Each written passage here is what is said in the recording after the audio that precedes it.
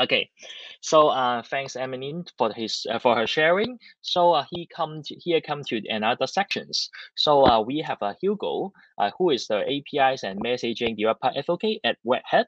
So he is going to talk about the event-driven API and schema governance for Apache Kafka.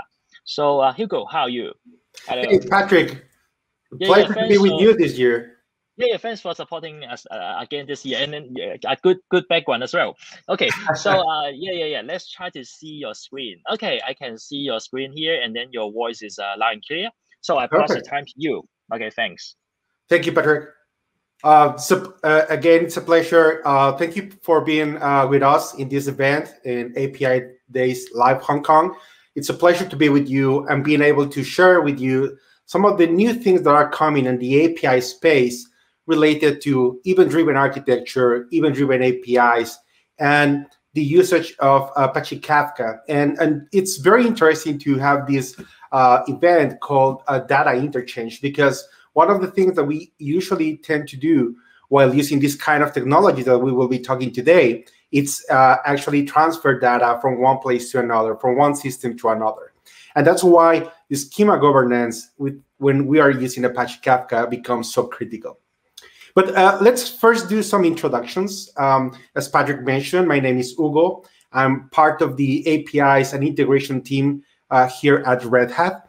And I'm uh, myself an open source uh, developer advocate. And, and, and we um, also do a lot of traveling. So I, I love history, travel, and I consider my food, uh, uh, food enthusiast. So here's my Twitter handler if you want to continue the conversation or um, know more about what we are doing in this space. So today we'll be covering three main uh, topics. So the first one is going to be uh, talking a little more about what uh, it's an event-driven API and what are the challenges when we are talking about the implementation using Apache Kafka. Then we're going to be talking about uh, why the uh, contract first approach uh, it's something that we have been doing a lot in the in the API um, side of the story, and we need to start applying to other uh, type of APIs. And finally, we're going to be talking about uh, event schemas and uh, how can we use them as contracts, and how important it's to have this central piece uh, of software that becomes the center of the governance around the uh, the schemas for our data. So let's uh, talk uh, first about event-driven APIs and modern applications. So today we have a very um, a very interesting steer in, in the way that we are working with technology. And basically we have this kind of situation where we are creating new applications and these applications uh, needs to fulfill these three uh, different aspects. So the first one is that they need to be distributed. That means that the deployments need to be uh, to be done across not only different data centers, but even across different regions. And they need to be highly available and be able to coordinate and you know have this unified version of, of the application. Then the second thing is that those applications needs to be decoupled. And when we're talking about decoupled, it's not just the technology that they're using, like you know microservices with different type of languages, but also they need to be decoupled in time. That means that sometimes applications will be generating data that will be consumed by applications that are not even online or that they're not even create, being created yet. So that's why we're be using persistent store for our events, so they're going to be able to be consumed for uh, uh, far in, in the future. And those applications need to be highly connected. So that's why we said that any applications need to be able to connect with other systems because no application lives in the vacuum. And for that, I just mentioned we have different types of approach, right? So we have been working around microservices. We have been working around um, REST uh, HTTP APIs, mainly focusing on the uh, request response. But today we're going to be talking more about events and why events become important. So remember, um, request response, it's a type of communication uh, between services that it's um, it's uh, very easy to scale and works great for decoupling uh, in, in the language. But sometimes when we need to decouple in time, we will need to take you know ownership of information and data through uh, different uh, channels. So that's why events become um, uh, arise in, in, in the new kind of architectures that we are going to see Uh, with customers and with uh, different organizations uh, coming on, uh, on this. And uh, you certainly will be using Message Broker or Event Bus for getting your events in, in shape. And one of the most commonly used uh, solutions to implement this kind of event-driven architecture, it's of course Apache Kafka. So Apache Kafka is this project under the Apache uh, uh, uh, Foundation that helps you um, to integrate your solutions using using the event store that it's highly capable to you know handle throughputs that are very very high. So the problem when we are using Kafka is that suddenly we start to see that it gets too much Kafkaesque. So it gets start it starts to get a little bit complicated when we just when we used to uh, have Kafka just being used for your internal services that was working great but suddenly when you realize that you need to share the information on your topics with other teams uh, within the same organization or with uh, teams outside your organization, it, it becomes uh, uh, a little bit more complicated because then you start to ask the traditional questions like, what is uh, what is the what is the documentation for this endpoint? Uh, what is the, the kind of data format we are expecting in in this topic? What is the the, the expected contract that we'll be sending? What is the kind of validations that they need to do? And when we don't have those things clear, it becomes uh, an easy misunderstanding between the uh, teams that are creating uh, and, and, sharing this information. But it's not just that. It's also sometimes you need to have you know information on uh, how do you access the infrastructure. So how do you connect to your broker? What's the type of security that you have? Uh, what kind of events are going to be available? and what is the compliance that you will be doing between publishers and consumers so you know that they will be sending events that will be consumed uh, without trouble by, by, by the, those consumers so uh, the idea is that if you don't cover this kind of, uh, of, of, answers for, for these questions then most of the time you will have problems with getting uh, slow time to market or poor quality in your application so that's why we try to avoid these kind of things using event-driven APIs and contract-first workflows. So if you have been doing APIs, as I imagine, because you are also joining this session, you certainly know that when we uh, say contract first, we're uh, saying that we want to you know, have this specification and, and, documentation that tells us how this um, how the API and the endpoint is going to be working. And the idea of using contract first is that you will be able to first work independently because you will have an agreement upfront that you will be able to share with other teams and that represents the information and and, and the contract that you will be uh, sharing with, with the team so that way you have this consistency that because you need to adhere to the contract you know that uh, things needs to uh, fulfill uh, this uh, these these guidelines. So in these kind of things, you are able to then share it with other people because it's it's a common document. It's uh, based most of the times on the specification, and you know that they will be able to use uh, you know things like generators to you know bootstrap their applications or tooling for mocking and, and testing. So in the uh, REST world, we have been doing this for a long time, right? So if you're doing an APIs, you know that there's a very uh, nice specification called Open API that allows you to um, specify how your REST API will uh, will be uh, uh, behaving. You have um, tooling like Apicurio that will give you a very nice editor, and you will have something like Microcks, for example, that helps you to do uh, API mocking and API testing using the exact same specification to do these kind of validations. But when we're talking about Kafka, and when we're talking about uh, event-driven APIs, uh, sometimes this starts to get blurry. We don't exactly know how to get started. And that's why there's one secret weapon that we can use for that. And that secret weapon, it's actually AsyncAPI.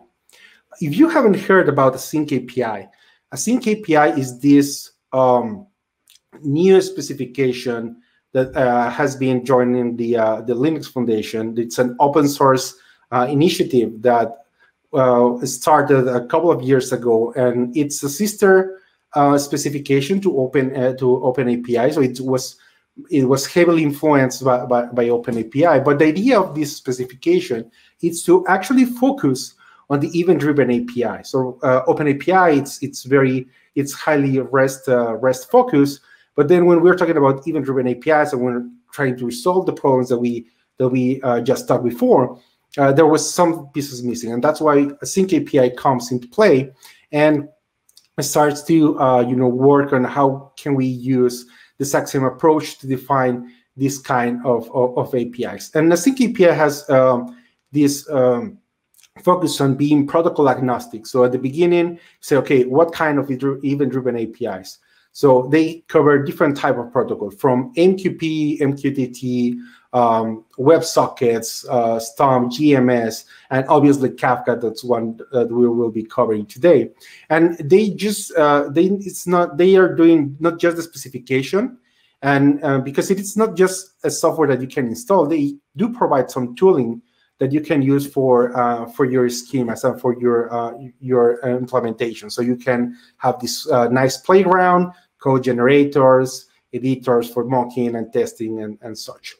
So in that way, what we can have is this view of unified contracts that go from the traditional REST API, where you get doing like a post for a register uh, user, and then you can move easily with the exact same definition of your payload from the um, uh, from the REST API to the uh, event-driven API. For example, using uh, that for registering or just generating events of the user registration in a specific topic. And for that, we will be using AsyncAPI. If we go in depth on the uh, on the anatomy of uh, of the sync API, you will see that it covers very similar uh, uh ground as, as the Open API. You have some uh, information metadata. You have information on where are your servers. So you will have certainly some host names. And instead of having uh, you know paths, you will have channels uh, and and the different operations for those channels like publish and subscribe.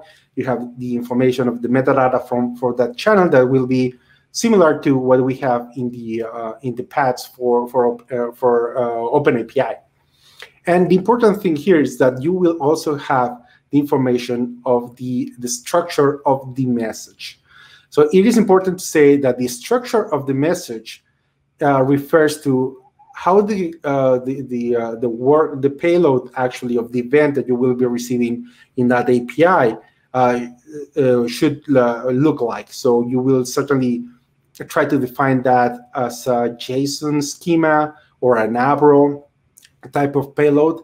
And if you have been working with Kafka before, you will see that these are the same ways that we use for, like example, uh, doing the uh, schema registry for our Avro pay, uh, payload or our uh, JSON schemas or our Google protocol, uh, you know, protocol buffers. So that's why we say that then schemas become the event contracts. So now that we see that we need to define upfront this the, the, payload that we will be using for our events, because we also need to serialize them and be able to deserialize by the by the consumer, then you have this concept of, uh, of a contract. And the important thing here is that the contracts then become something that is going to be useful for your producers and for your consumers, not only during the time that you're building your application, but also can be useful during runtime. So let's see an example. Um, most of the times when you're just working uh, with your uh, with your team and you're having this application that is producing events that are then being sent to Kafka to different topics, uh, you will be able to serialize the information with certain structure because remember we just store um, byte arrays and then store them into Kafka. And because your team is also creating the consumers for those topics, they will be able to retrieve that information and you will be able to easily deserialize. But if you suddenly realize that your topic uh, gets uh, has information that's useful for other teams, they might want to, you know, be able to join that uh, that uh, topic and become consumers of the information that you are generating. For example, if your producer is using change data capture with Debezium to send events from your Oracle database, and then you will have different consumers trying to get information from that database.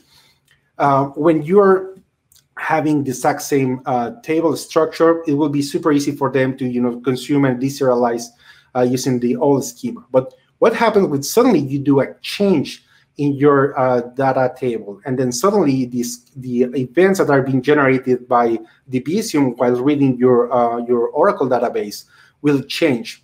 And if you control the consumers, or you're able to you know call the other team and say, okay, we just did this changed, we need to upgrade your uh, your deserializer, your version of the schema, so you're able to you know consume those events um, it, it, can become burden to just share that information. And if they don't upgrade, and suddenly you have you know con all consumers using the uh, the old version, perhaps the first ones will be you know okay we can now get the uh, the new version, but the last one will certainly tend to crash and then burn. So you want to avoid these kind of things.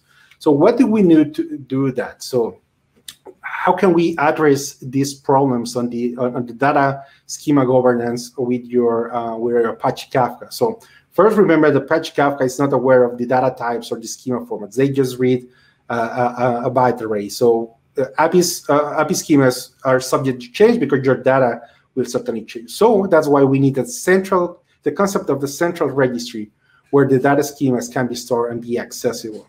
So that's why it's super important when you're doing your uh, schema governance with uh, Apache Kafka to, you know, uh, work with this concept of the registry for event schemas.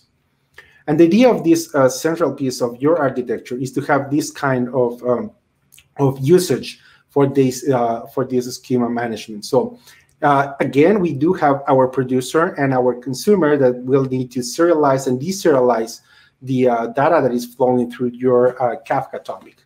But in this case, before we are sending information, we can use this um, concept of the registry to then check uh, before we are sending information uh, what is the structure that we need to use for sending our our event and if we are using AsyncAPI that will be already defined as part of the uh, of the contract right so you will be able to see, okay, for topic A, we have this other type of serialization, then we're able to send information using that specific structure.